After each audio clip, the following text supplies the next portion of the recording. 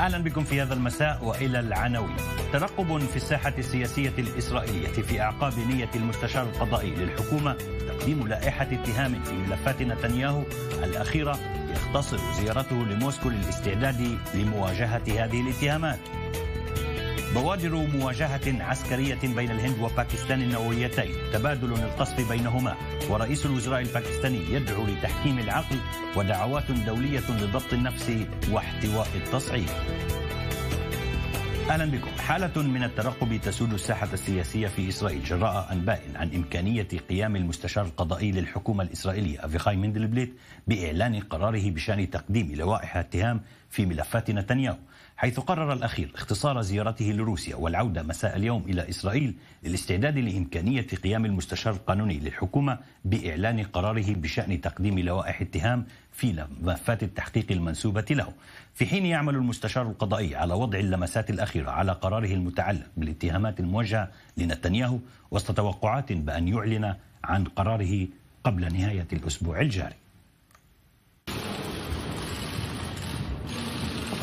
عاد رئيس الوزراء الإسرائيلي بنيامين نتنياهو من لقائه مع الرئيس الروسي فلاديمير بوتين في موسكو على عجل.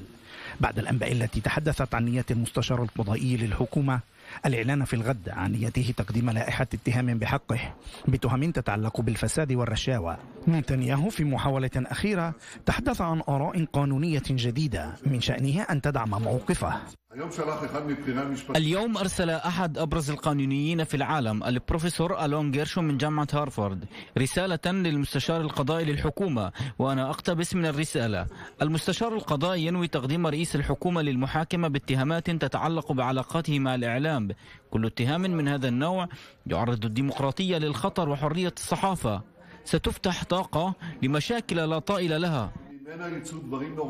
نتنياهو المنشغل هذه الأيام في ترتيب أوراقه الانتخابية للفوز بولايات جديدة. بات مرة تلو المرة يتوجه للجمهور الإسرائيلي في محاولة لدر التعاطف معه واتهام أجهزة الدولة المختلفة بملاحقة سياسية له دون وجه حق. أيها الشعب الإسرائيلي أنتم ترون وتعرفون أن الأمر تعدى كسر كل القواعد الديمقراطية. أنا أتحدث مع قيادات في العالم وكبار رجال القانون في العالم وهم يتفقون معي بالرأي وسمعتم أحدهم ويقولون أنه يوجد تلفيق للملفات وملاحقة سياسية وكسر لكل القواعد البسيطة. ساعات مصيرية قليلة تفصل بين قرار المستشار القضائي وبين مستقبل نتنياهو السياسي. قرار من شأنه في حال صدر أن يجر تبعات على المعركة الانتخابية الجارية. قد تفرز نتائجها حكومة لا يرأسها نتنياهو مرة أخرى. وعلى نقاش هذا الملف معي في الاستوديو السيد أحمد آه، محمد خبير الشؤون الحزبية الإسرائيلية. مرحبا آه، بك. والسيد خميس أبو العافية المحلل السياسي. مرحبا بك. وعبر خدمة سكايب من القدس السيد مئير مصري أستاذ العلوم السياسية في الجامعة العبرية في مدينة القدس. مرحبا آه، بك. أبدأ معك سيد أحمد كما ذكر على ما يبدو المستشار القضائي بنيته تقديم لائحه اتهام ضد نتنياهو بالرغم انه أنه في الأنباء الأخيرة هو ربما قد يقوم بذلك بعد الانتخابات الإسرائيلية. إلى مدى هذا الأمر قد يؤثر على نتنياهو سياسيا داخل حزب الليكود وداخل هذا المعركه داخل المعركة الانتخابية الحالية؟ اولا دعنا دعنا نوضح أن أن التوقيت هو مهم جدا وأقصد بالتوقيت أن هذا الأمر جاء ما بعد ربما سيأتي بعد الانفجار العظيم الذي أحدثه جانتس ولبيد وبالتالي آه، باعتقادي أن كما تحدثنا دائما عن هذا الموضوع موضوع الاصطفافات أعتقد أن في حال تقديم لائحة اتهام ضد بنيامين نتنياهو فإن أسهم بنيامين نتنياهو بالأساس في القوى اليمينية ستزداد بمعنى سنشهد في ال... سنشهد يعني بعد أيام قليلة. انخفاض في أصوات اليمين اليمين الجديد وانخفاض أيضا في أصوات البيت اليهودي والاتحاد القومي وعظمة ليهودية لصالح بنيامين نتنياهو. وبالتالي هذا سيؤدي كما قلنا لصالح بنيامين نتنياهو. ومقابل ذلك سنرى أيضا هناك فيما بعد اصطفافات بسبب ارتفاع الليكود. ولكن قلت قلتها أيضا قبل. أعتقد وأنا واضح موقف اتجاه رئيس الحكومة بنيامين نتنياهو وسياسته خلال العشر سنوات الأخيرة لكني أقول أنه وللحق وربما لمنع أو لعدم المس بالنزاهة وللحفاظ على الحق في الإجراءات القضائية المنصفة. ربما مندلبلت فعلا يريد من جديد فحص الأمور وفحص إمكانية فعلا تأجيل تأجيل موعد الانتخابات ولكن من جهة أخرى هذا يمس أيضا بمبدأ المساواة أمام القانون. هناك تصور أنه في الأسبوع القادم يوم الأحد أو يوم الاثنين يعلن مندبلت إن لم يعلن فإنه أقول لك سيعلن أنه سيؤجل ذلك إلى ما بعد الانتخابات. نعم. استمرار لما قاله السيد أحمد أن نقول هناك مقولة في الشارع الإسرائيلي حين تهاجم تحتضن أكثر ونتنياهو ربما يبني على هذا الأمر. وقيل منذ البداية بأن نتنياهو حتى في الحملة الانتخابية قد يركز على قضية التحقيق وعلى قضية لائحة الاتهام. وإذا قدم الآن مندلبليت أو لم يقدم هل برأيك نتنياهو سيستغل هذا الأمر في حملته الانتخابية؟ عام 1992 عندما انطلقت المفاوضات وأفضت في نهاية المطاف إلى اتفاقات اتفاقيتي أسلو قبل التصويت والإقرار بها من قبل الائتلاف الحكومي الذي كان مشاركا فيه حينها حزب شاس الديني برئاسة أريا درعي قالوا بأن المستشار القانوني للحكومة آنذاك بن يائير يعني كان بصدد إصدار قراره بتقديم لائحة اتهام ضد أرييه درعي ما يعني بأن فور الإعلان عن تقديم لائحة اتهام ضده سيجبر على الاستقالة من منصبه وإلا حزب ميرتس الذي كان أيضا مشاركا سيعني يترك الائتلاف الحكومي. يقال بأن هنالك توثيق لمكالمة هاتفية جرت ما بين آه، إسحاق رابين رئيس الوزراء آنذاك إلى المستشار القانوني. قال له يعني لم تستطع أن تنتظر. نحن على عتبة مرحلة مصيرية. ربما تسدل في نهاية المطاف الستار على الصراع الدامي مع الفلسطينيين. يعني وإن سرق أريا درعي بضعا من الشواكل ألي ذلك ألي هذا تسقط أو تساهم في إسقاط الائتلاف الحكومي؟ من هذا المنطلق أقول لك تصديقا لما قاله هنا الأستاذ بأن اليمين المتشدد ربما بعد الإعلان أو عدم الإعلان من قبل المستشار القانوني حول تقديم أو عدم تقديم لائحة اتهام ضد رئيس الوزراء سنرى ربما ربما في الأيام ما بعد الإعلان تراجعا ما في شعبية بنيامين نتنياهو ولكن في نهاية المطاف أقول لك بأن اليمين الذي يعني يريد بنيامين نتنياهو يقول لك بنيامين نتنياهو ملف الجنائيات من جهة أو أرض إسرائيل.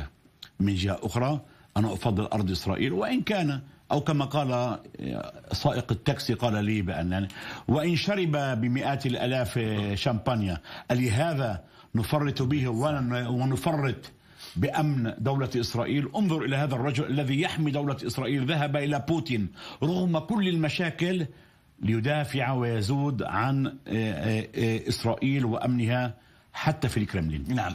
سيد مئير بالنسبة لتأثير لائحة الاتهام لو قدمت في نهاية المطاف على نتنياهو ربما في معسكر اليمين كما قال الضيف هنا سوف توجه أسهم التصويت إلى حزب الليكود أكثر من أحزاب أخرى. لكن ماذا هذا الأمر سوف يؤثر على داخل حزب الليكود؟ ورأينا بعد ترشيح قائمة حزب الليكود من يتواجد في الأماكن الأولى ودعنا نقول قد يكونوا خلفاء لنتنياهو إن كان يسرائيل كاتس جدعون ساعر وأطراف أخرى. هل برأيك تقديم لائحة الاتهام قد يخلط الأوراق داخل حزب الليكود؟ باعتقادي أنه طالما أنه آه، رئيس الحكومة ما زال آه، متمسك بفكره ترشيحه رأس الليكود فلن تكون هناك آه، أصوات ضده داخل معسكره. والسؤال قد طرح حتى قبل أسابيع حتى قبل أن تجرى الانتخابات الداخلية لحزب الليكود الأفراد ويعني نحن نتحدث عن المنافس الأبرز لنتنياهو السيد جيدون سار تم يعني آه، آه، سؤاله وقد قال بشكل واضح بأنه مع الشرعية ومع آه، يعني من سوف يرشح الحزب في الانتخابات يرشحه الحزب في الانتخابات أي السيد نتنياهو وتقليديا نحن نعرف بأنه في كل الأحزاب ولا سيما في الليكود بأنه طالما أن رئيس الحزب هو رئيس الحكومة فدائما يتم دعمه بكل الأشكال، فلا أعتقد انها سوف تكون هناك معارضة داخل حزب الليكود أو وسوف يؤثر هذا على آه، آه، موقف السيد نتنياهو داخليا داخل حزب الليكود ولكن ولكن لو تصورنا بأنه قد كلف السيد نتنياهو مثلا شخص داخل حزب الليكود يأخذ يحل محله لفتره محدودة أشهر على سبيل المثال. كما حدث في السابق وكما حدث أيضا مع الوزير ليبرمان عندما كان وزيرا للدفاع فعودته تكون صعبة. حينئذ سوف يكون من الصعب أن يعود مرة أخرى إلى مقعده حتى لو تم تبرئته. نعم. ابقى معي سيد مير. ربما سيد أحمد الإشكالية التي قد يواجهها نتنياهو مع تقديم لائحة الاتهام هي ما بعد الانتخابات من الشركاء الذين سيكونوا أيضا مع نتنياهو. على سبيل المثال قيل بأن كحلون قال بشكل واضح إذا كان إذا كانت هناك لائحة اتهام لنتنياهو لن أدخل بهذه الحكومة أو لن أكون شريك في هذا الائتلاف الحكومي، ربما هذه الإشكالية الأصعب وليبرمان قال ذات الأمر. نريد أن نتحدث أيضا عن إشكالية يواجهها أيضا المستشار القضائي للحكومة والنيابة العامه وشاي نتسان وهي قضية تدمج ما بين المهنية والسياسة انتبه فراس. نحن نتحدث عن يعني لنفترض أن أن الإمكانية الأولى هي عدم تقديم لائحة اتهام، ماذا سيجري لو فاز بنيامين نتنياهو بالانتخابات وبعد تم تقديم لائحة اتهام في شهر خمسة أو شهر ستة. أدخلنا الدولة إلى معضلة كبيرة جدا. ماذا سنقوم ماذا سنقوم ماذا سيحدث بعد ذلك؟ هل سيكون اثنين؟ هل سيكون بنيامين نتنياهو وهذا ربما جزء من الائتلاف وجزء من جزء من خطة الائتلاف وجزء من آه، الاتفاقية الاتفاقية الائتلاف وهو موافقة جميع أعضاء الائتلاف على صن قانون القانون الفرنسي. والقانون الفرنسي هو يعني له بعض الإيجابيات. لا نريد أن ندخل في السياسة في الداخل لكن القانون يتحدث عن أن رئيس حكومة أو رئيس دولة يشغل منصبه. إيه، نعرض كل الإمكانية إمكانية تقديم له اتهام نضعها نضعها جانبا بعد بعد إنهاء تولي هذا المنصب. وبالتالي يعني إذا نظرنا إلى إلى قوى الائتلاف بنيامين نتنياهو ائتلاف واضح جدا فراس ائتلافه هو يمين الجديد ائتلافه هو البيت اليهودي والاتحاد القومي. ائتلافه يشمل الأحزاب الدينية وكحلن اليوم صدقني كحلن اليوم سيتحدث بلغة أخرى عن عن ما تحدث به قبل أسابيع. نحن رأينا أن كحلون تحدث فعلا كان خطابه عندما كان جانتس 20 ولم يكن هناك وحدة اتحاد بين جانتس وبين لبيد. كان نقاش كحلون مختلف جدا. هو غير خطابه وذهب أكثر إلى اليمين وأطلق شعاره الآن وهو اليميني المتنور أو اليميني الوسطي الوسطي. وبالتالي أعتقد أن كحلون في في في في في حال عدم تقديم لائحه في حال عدم تقديم في حال تقديم لائحة اتهام كحلون مش 100% راح يرفض أن يدخل إلى ائتلاف مع بنيامين نتنياهو وأنا باعتقادي وقلت لك أنا لا أرى كحلون في الحكومة لا أرى كحلون يعبر نسبة الحسم. تحدثت عن الاصطفافات سوف نشاهد هذه الاصطفافات نعم ربما المعضلة الحقيقية التي تحدث عنها السيد أحمد هي بعد الانتخابات وفي حالة بالفعل هناك اتهام آه، حقيقي لنتنياهو بعد بعد لجنة الاستماع أو أو أي لجنة أخرى. وتدخل إسرائيل مرة أخرى في دوامة ربما إعادة الانتخابات أو إذا كان سيناريو آخر ممكن تبديل من قبل حزب الليكود. اولا آه، بنيامين نتنياهو في تصرفاته يذكرنا باللويس السادس عشر الذي قال الدولة هي أنا وأنا هي الدولة.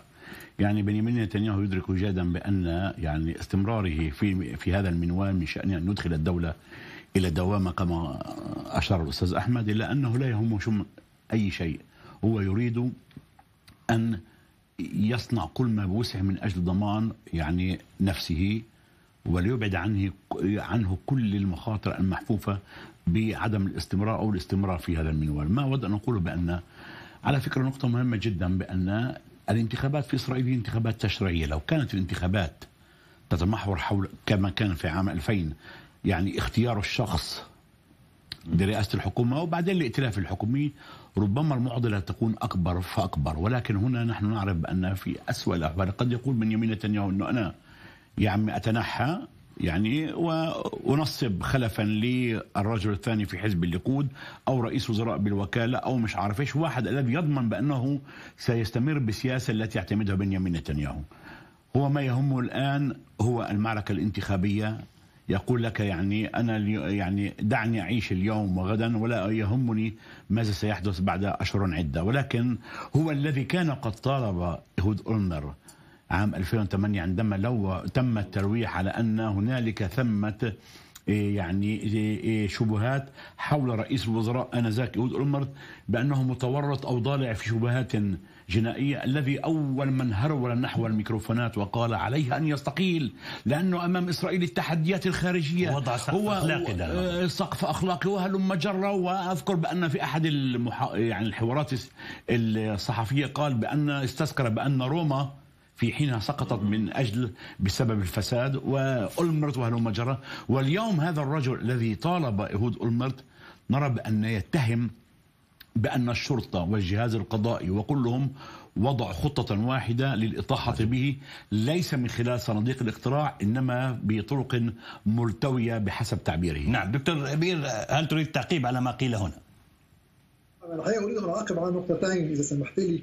أول نقطة هو أنه طبعا صحيح كما قال صديقي الأستاذ خميس أنه نتنياهو بحسب عقليته وبحسب أفكاره ومعتقداته كان يجب عليه أن يستقيل لأنه هذا ما دعا إليه إيهود اولمرت قبل عشر سنوات علما بأن إيهود اولمرت آنذاك موقفه كان أفضل من نتنياهو اليوم لأنه لم يتعرض لتوصيات إدانة من قبل رئيس الشرطة آنذاك فاذا يعني بحسب معايير السيد نتنياهو كان عليه أن يستقيل. النقطة الثانية أو التعليق الثاني هو هو فيما يتعلق بالقانون الفرنسي اللي بعض ترزيه القوانين في إسرائيل يريدون أن يعني يسن فيه الكنيست أريد أن أقول بأن هناك فرق كبير بين الأنظمة الرئاسية والأنظمة النيابية في النظام الفرنسي نظام رئاسي وبالتالي من ينتخب هو شخص بعينه.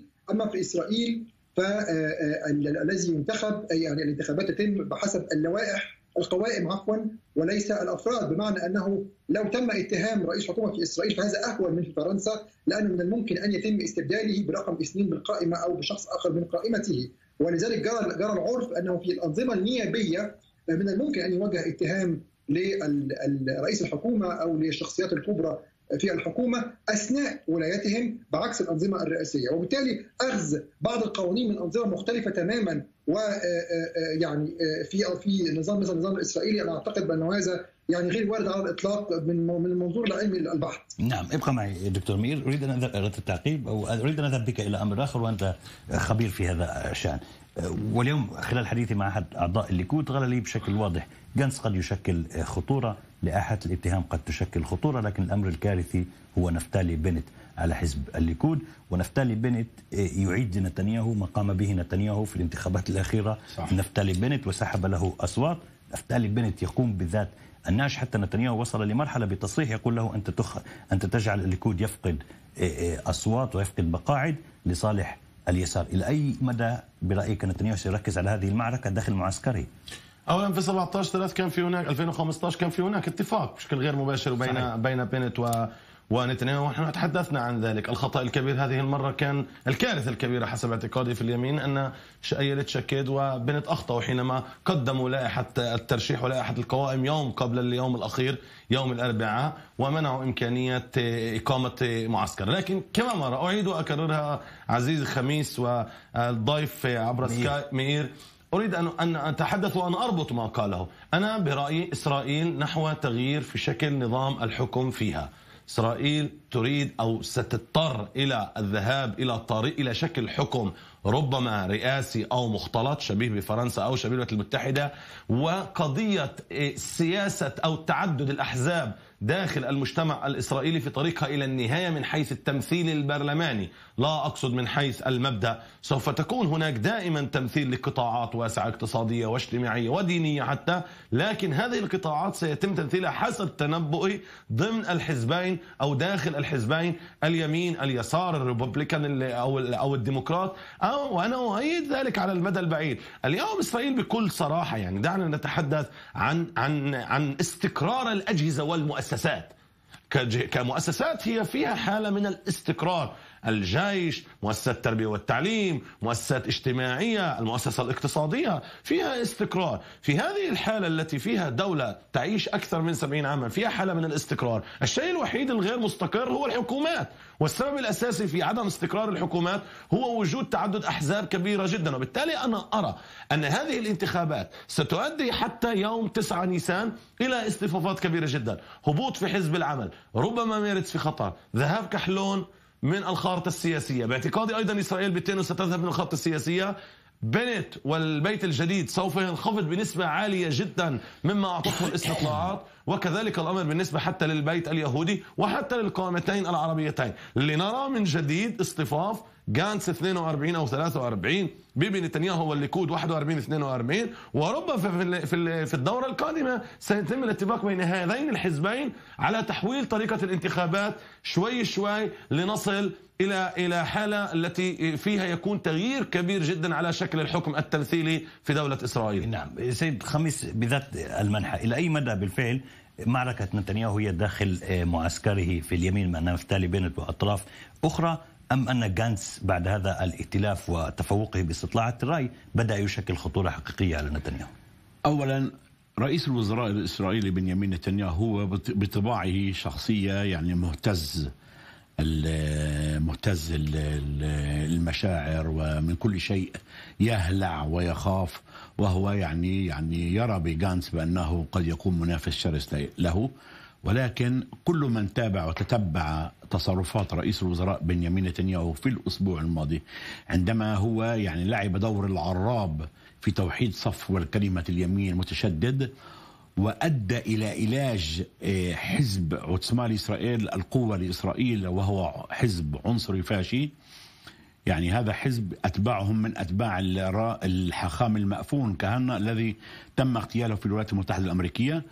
أود أن أقول لك بأن بنيامين نتنياهو متأكد بأنه إن تم توجيه ضربة وتسديد ضربة لنفتالي بنت وإن تم يعني إيه، الهيمنة على إيه، الشارع المعسكر اليمين فهو يستطيع أن يجتاز أكبر محنة نعم. سياسية له نتنياهو الآن لأول مرة يرد على المستشار القضائي على ما يبدو بعد عودته من موسكو يقول بأن برج الأوراق أو برج الكروت كما تسمى سوف ينهار قريبا وسوف ترون وهو صاحب ذلك. المقولة لن يكون شيئا لأنه لم يكن شيئا صح. وهذا النوع يعني عبارة يتم تسويقها للشرائح ال ال ال في شرائح معينة, معينة في المجتمع الإسرائيلي التي يعني تبتلع كل بكل كلمة يقولها رئيس الوزراء على أنها هي يعني وردت في الكتب المقدسة. نعم. سيد مير أين هي معركة نتنياهو الحقيقية في هذه الانتخابات؟ اولا موقف السيد نتنياهو ليس يعني بالسوء. يعني الذي آه، آه، آه، نتوقعه لأنه يجب أن نعرف أنه ما زالت كتلة اليمين أقوى من كتلة اليسار المتحالفة مع من كتلة الوسط المتحالفة مع اليسار أي بأنه حتى لو حصل حزب جانس أو أو القائمه التي رأسها جانس على أغلبية وأصبحت الكتلة الأكبر فلن لن تستطيع أن تشكل حكومة يعني بحسب كل الاستطلاعات التي رأيناها حتى الآن. وبالتالي سوف يكون موقف آه، سيد جانس مثل موقف تسيبي ليبي بالعام 2009 أي ناس سوف يمثل الكتلة الأكبر ولكن لن يستطيع أن يشكل حكومة وبالتالي سوف يعود تشكيل حكومة على أساس نتنياهو. وحينئذ سوف يكون هناك خيارين. أو أن يقوم نتنياهو بتشكيل حكومة مع الحريدين و يعني لو أمكن ولو لم لم لو يعني هذا لم لم يكن ممكنا فبالتالي سوف يكون هناك طبعا سيناريو حكومة وحده وطنية بين نتنياهو وجانز.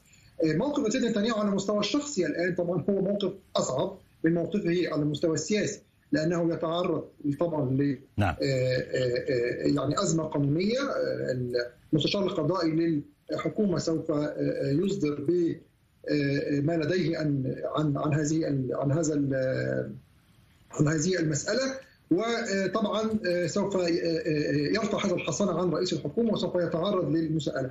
والمشكلة في هذه الحالة هو اولا أنه مكبل بضغوط كبيرة وبحسب مواقفه السابقة يعني سوف يكون عليه أيضا أن يعني يراجع موقفه كرئيس لكتلته والشيء الثاني لن يكون لديه أيضا الوقت في أن يحكم. نعم. يعني نحن أيضا رئيس حكومة وهو أيضا ثلاث وزراء في نفس الوقت.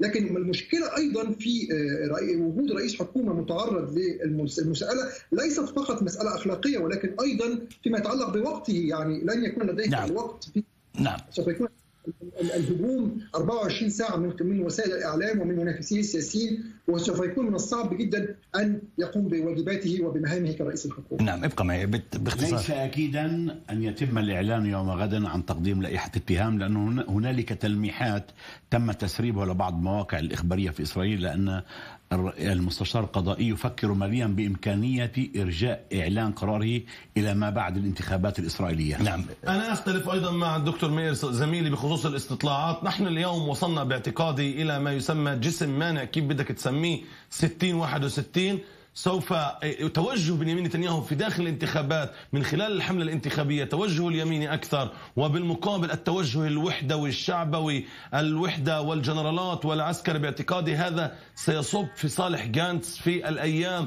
القادمة. وهذا ما أراه أنا إيه، أنها نحن في نهاية إيه، فعلا إيه، ولاية الملك لويس الرابع عشر. نعم وربما أفضل ما قيل بالنسبة لاستطلاعات الرأي ما قاله شيمون بيريس بأنه من الجميل أن نشتمها لكن من السوء أن نبلعها. في نهاية المطاف دكتور أحمد محمد خبير في الشؤون الحزبية الإسرائيلية شكرا جزيلا لك. السيد خميس بالعافية لا محل سياسي شكرا جزيلا لك. وجزيل الشكر للدكتور مئير مصر أستاذ العلوم السياسية في الجامعة العبرية في مدينة القدس شكرا لك. أعزائي المشاهدين نخرج إلى فاصل قصير. ونعود من بعده. ابقوا معنا.